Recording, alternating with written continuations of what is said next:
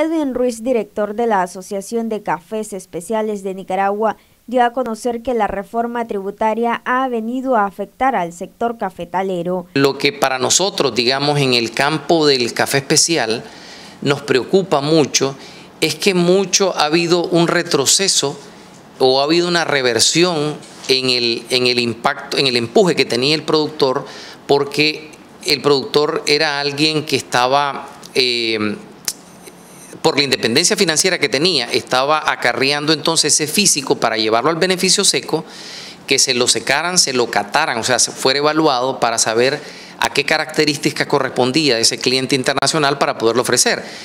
En una economía de subsistencia para el gremio cafetalero, entonces tiene que, se obliga probablemente a venderlo en pergamino oreado antes de que sea evaluado porque tiene, que, tiene la necesidad del, flujo de caja para la cobertura de, sus costos inmediatos. Es inevitable hablar del tema del, coronavirus, eso ha impactado los mercados asiáticos.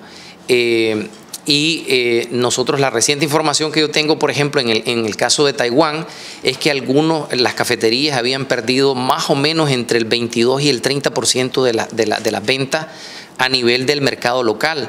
Entonces se estima que a lo mejor un 12% de las cafeterías probablemente no van a recuperar eh, en este año 2020. Asimismo, anunció que el 2 de marzo vendrá una delegación taiwanesa integrada por nueve empresas para ruedas de negocio. Se hace consecutivamente año con año. Nosotros somos la otra contraparte en Nicaragua que nos encargamos de organizar la atención en términos, digamos, de la, de la, de la parte técnica de hacer, eh, de, convocar para las eh, evaluaciones de los cafés, o sea, convocar que los productores puedan eh, inscribirse para, para poder aplicar y luego también organizarles las ruedas de negocio. Entonces nosotros lo hemos hecho de una forma bien simple.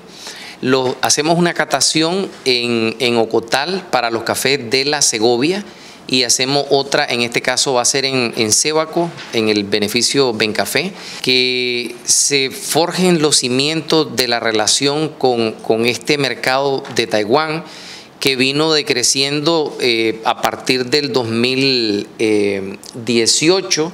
Nosotros exportamos 51 eh, mil quintales, eso representó para el país 8, millones 879 mil dólares. Noticias 12, Darlene Telles.